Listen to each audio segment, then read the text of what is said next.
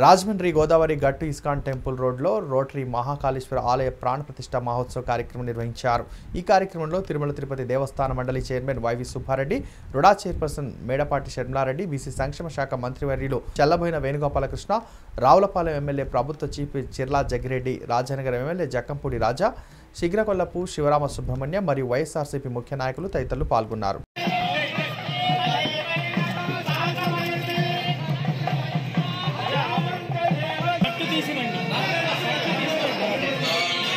Yali.